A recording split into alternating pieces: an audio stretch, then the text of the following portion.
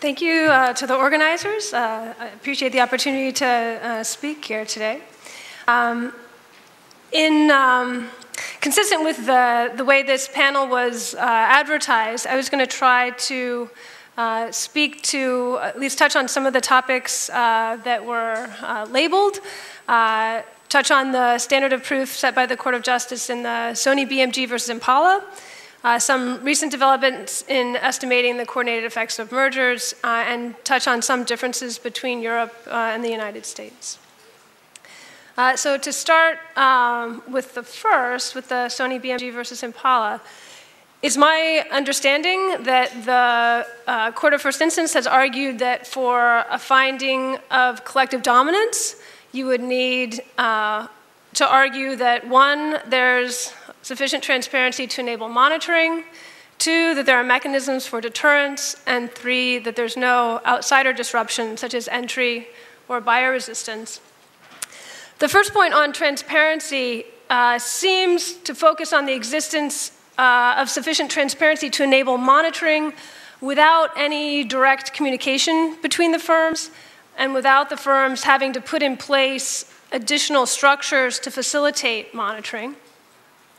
On the second point, uh, firms would typically uh, at least have the threat, uh, a mechanism for deterrence, that any coordination uh, would just end and that profits would return to pre coordination levels. And on number three, uh, the focus seems to be on the, the absence of outsider disruption, um, not the incentive and ability of the firms to coordinate their actions so as to minimize the effects of buyer resistance uh, or uh, to deter entry. So it seems uh, from this way of thinking about uh, a finding of collective dominance that the primary concern appears to be tacit collusion in the post merger market. I wanted to talk about some difficulties with tacit collusion. Uh, tacit collusion, truly with no communication, can be hard. Uh, tacit collusion requires an initiation phase in which the firms must come to be coordinated on some equilibrium uh, without communication, uh, and then uh, an implementation phase where they have to follow through uh, again, uh, on, uh, on this agreement without communication. So I, I have a, a, quote here from that involves a number of our presenters. So this is uh, Ivaldi, Jullien, Rey, Seabright, and Tirole saying that uh, while economic theory provides many insights on the nature of tacitly collusive conducts, it says little on how a particular industry will or will not coordinate on occlusive equilibrium and on which one. Uh, and I agree. So I think there are, um, it can be difficult to have an initiation phase for tacit collusion without uh, communication. Uh, and on the implementation phase, uh, things can be difficult uh, if firms face strategic buyers. If buyers can play the firms off one another and create uncertainty in the minds of the firms as to whether the other cheated, uh, that can cause coordination to fail uh, if the firms can't communicate with one another to resolve this uncertainty. So, in theory, there are some potential difficulties with organizing tacit collusion. Uh, and I want to offer some uh, data uh, that also speaks to some of these difficulties. Uh, this uh, graph is, I'm going to show you, is from um, some work that I did with Bill Kovacic, Bob Marshall, and Matt Raiff. And it draws on data from the vitamins conspiracy. Uh, so let me uh, describe to you what this graph is showing. Uh, the vitamins cartel involved collusion among very many different vitamins and so vitamin A, vitamin B2, vitamin B5, vitamin C.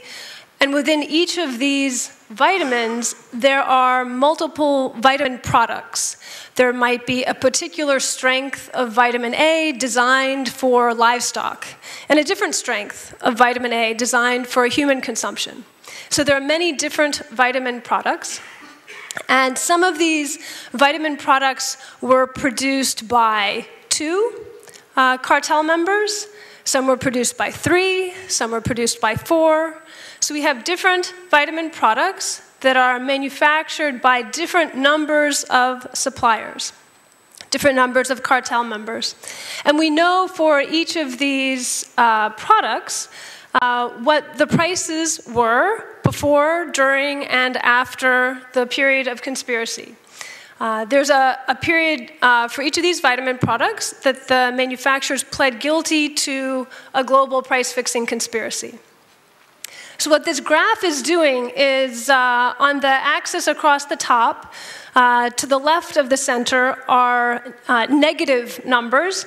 Those are months prior to the beginning of the conspiracy. So, uh, a minus 15 there is 15 months prior to the beginning of the conspiracy. And the positive months to the right are months after the end of the conspiracy. And the entire decade of the conspiracy is collapsed onto the single point in the middle. And so, what the graph is showing is the um, change in price in the months prior to the conspiracy relative to the maximum price achieved during the conspiracy, and the prices after the end of the conspiracy relative to the maximum price achieved during the conspiracy.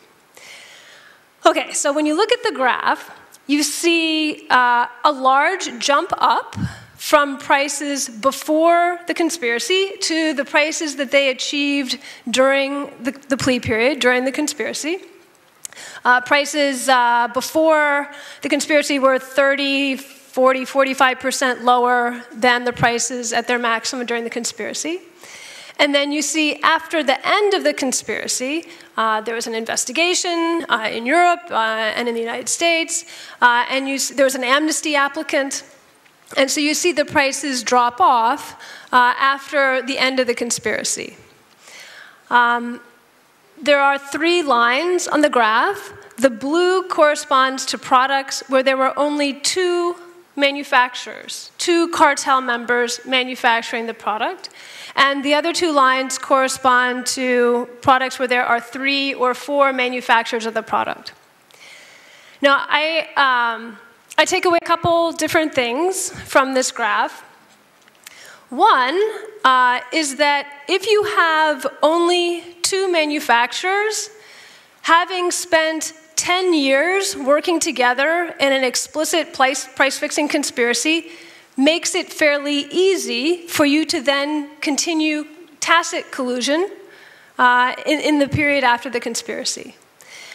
But I think it's interesting, uh, even though many of the, the, the, firms that are in these two, uh, two firm conspiracies, the firms behind the blue line uh, are also in the other two lines, even though they had just spent 10 years engaged in a very well organized price fixing conspiracy and had recognized enormous profits as a result, they were unable to sustain tacit collusion uh, after the end of explicit communication, after the end of the explicit conspiracy. After about a year, uh, prices are back to their pre conspiracy levels. Uh, so, one of the things I take away from this is that uh, even with lots of education on the profitability of collusion and how one might organize it, it can be difficult to sustain tacit collusion when you have enough firms in the industry.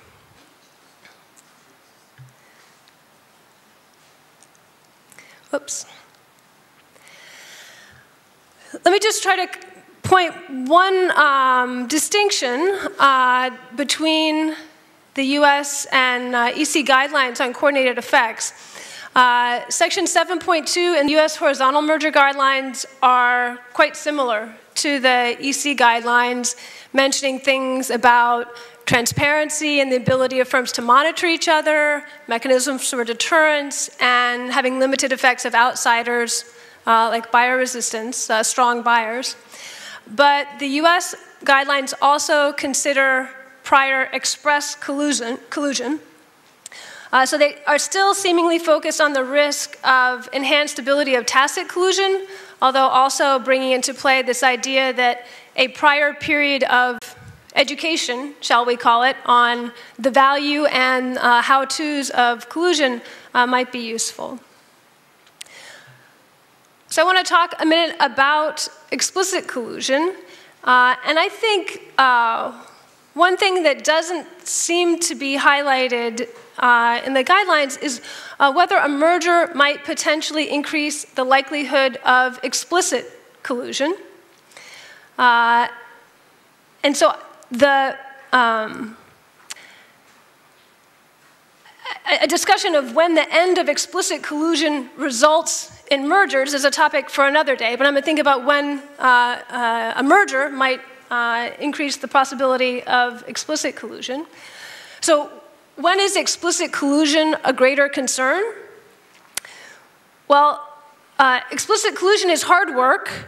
Uh, you're going to need a self-enforcing agreement because you're not going to be able to rely on uh, the courts. You're going to have to keep it secret. Everybody in the conspiracy is going to have an incentive to cheat. Uh, but if uh, it's more profitable, then you have a greater incentive to put in place the kinds of structures that would be needed uh, to make it succeed. Uh, and if uh, it's easier to put those collusive structures in place, uh, then I would also think of it as a greater concern, uh, and also uh, if there's a history of explicit collusion. So I'm going to start with the first part here, um, measuring the profitability of collusion. I think of the profitability of collusion as affecting firms' incentives to solve the hard problems they would need to uh, in order to have uh, successful coordination. And one thing, uh, I have worked with uh, Bill Kovacic and Bob Marshall and Steve Schulenberg on methods for trying to quantify the extent to which a merger increases the profitability of collusion.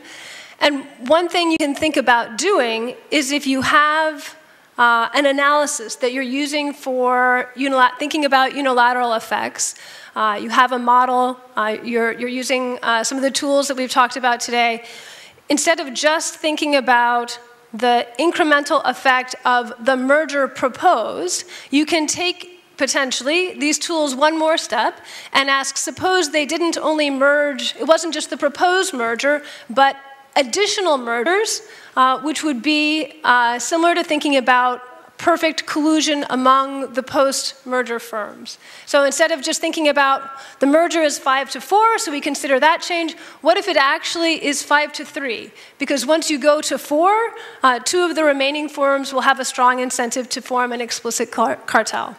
So you can use, once you have an approach, you can potentially use it to try to quantify incremental profits from coordination, and incremental profits from deviations uh, from an agreement, which may give you some measure of stability. Uh, so there are um, uh, ways to think of quantifying potential profits from collusion that can provide a measure of incentives for collusion, uh, and to quantify payoffs associated with deviations from a perfect collusive outcome to give a measure of the stability of a post-merger cartel. The second um, piece was whether um, it's going to be, um, how easy it's going to be for firms to put in place the structures that would be needed to successfully uh, collude. Uh, I think of the key problem facing uh, a cartel is deterring secret deviations. Uh, and in order to deter secret deviations, the cartel is going to need to put in place pricing structures and allocation structures and enforcement structures. Pricing structures are going to be uh, the, the mechanism by which they increase prices, reduce output, uh, reorganize incentives within the firm to make sure you don't have your own sales force undermining uh, agreements like allocations of customers or something like that. You'll need in place allocation structures, so some way to allocate uh, the collusive gain. Uh, and also, um, the cartel has to deter secret deviations. Secret deviations are a problem for an explicit cartel. But in the operation of a conspiracy, uh, there are going to be mistakes. There are going to be uh, things that come up uh, that are not secret deviations, they're, they're, mistakes that have to be repaired. And so a cartel will typically also need some way of making the adjustments and the transfers uh, to try to keep uh, on track with their agreed uh, allocation. And you'll need enforcement structures. You'll need some way to monitor uh, and uh, you'll need some threat of punishment in place, uh, and that would most commonly be um, uh, the, the, threat that you return to the pre-collusive levels.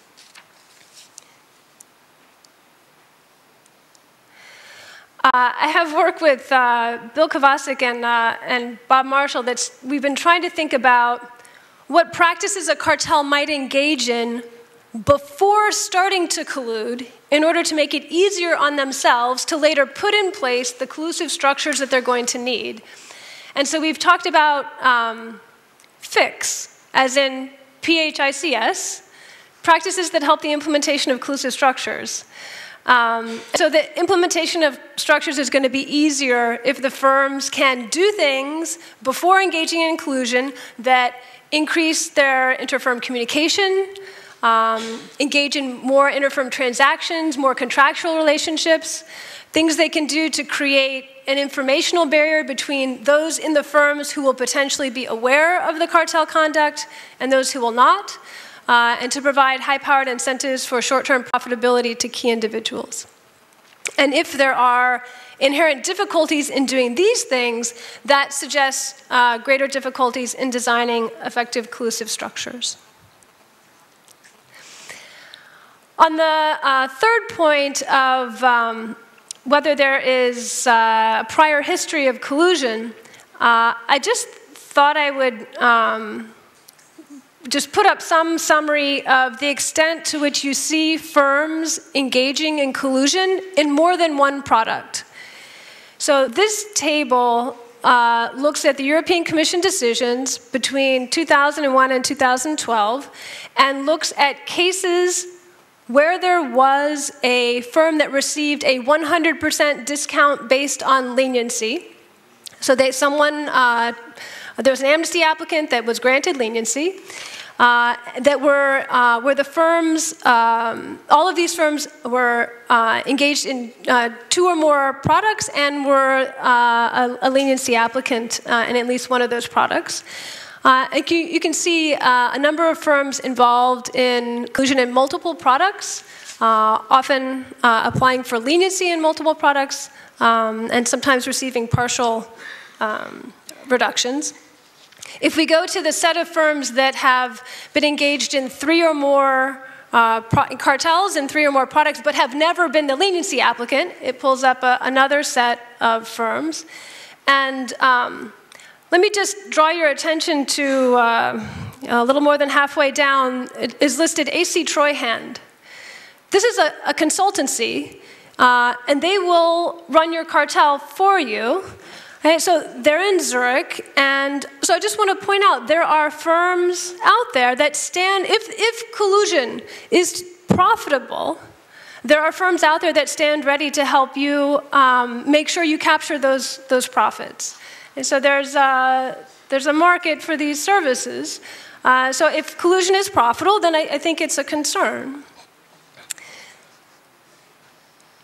They, they were fined 1,000 euros in the organic peroxides case, but that uh, allowed um, the European Commission to establish their ability to, um, to levy fines on, a, on a, a, firm like that. So this is my final slide. Um, my, uh, let me just give you a scenario of concern. The European guidelines, my understanding is, do not, would not highlight potential concerns with a transaction that greatly increased the profitability of explicit collusion, that involved firms or products with a past history of collusion, but where prices appear to be non-transparent and where buyer resistance appears significant. Uh, so let me give an example. Uh, so there's a conspiracy uh, between 1988 and 2001 in industrial tubes. These are copper tubes and refrigerators. Um, and it's a, uh, it was a profitable conspiracy. They were fined, the group of them, on the order of 75 million euros. And this uh, quote from the European Commission decision says general announcements for increases in prices in the industrial tube sector were not made due to the fact that purchasers were big industrial companies with which prices were individually negotiated once a year. No general price lists were applied, and attempts to create such lists failed. So, if you were looking at this industry and you're worried about coordinated effects and thinking in terms of tacit collusion, uh, you might think, gosh, it's going to be really hard for them to monitor prices. Uh, they're going to have, there's going to be lots of buyer resistance. They've got these powerful buyers. Mm, doesn't seem like much of a concern. Uh, and, and maybe they wouldn't have been able to successfully tacitly collude, but through communications and transfers, they were able to put in place the structures required um, to successfully um, explicitly collude. That's all I have to say. Thanks.